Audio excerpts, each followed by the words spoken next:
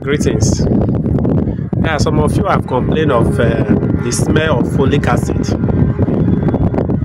Pregnant women. Your major complaint is the smell of folic acid and that it makes you to vomit when you take it.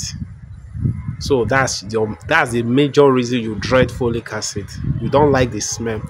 But it's so important that you must take that folic acid though. Whether you like it or you don't like it, you must take folic acid. So if you want to take folic acid and you don't want it to make you vomit, you don't want it to smell in your nose, you can take it with juice.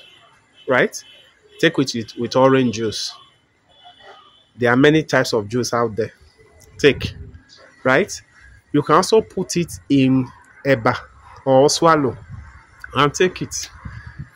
Just make sure you take your folic acid anyway. That's just it. Vomiting and nausea, it can also make you nauseous.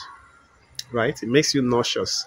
That's another side effect of it. But take it with juice, take it, put it in swallow. You are good to go. Or you can take the combination. That one, like Pregnacare now, that has folic acid and the rest, and the rest. That's the combo of folic acid, uh, fesolate, and the rest, uh, ferrous, and the rest. So you can take it in combo. But you can use juice to take your folic acid on. Or you use uh, eba or fufu. Thank you and bye bye.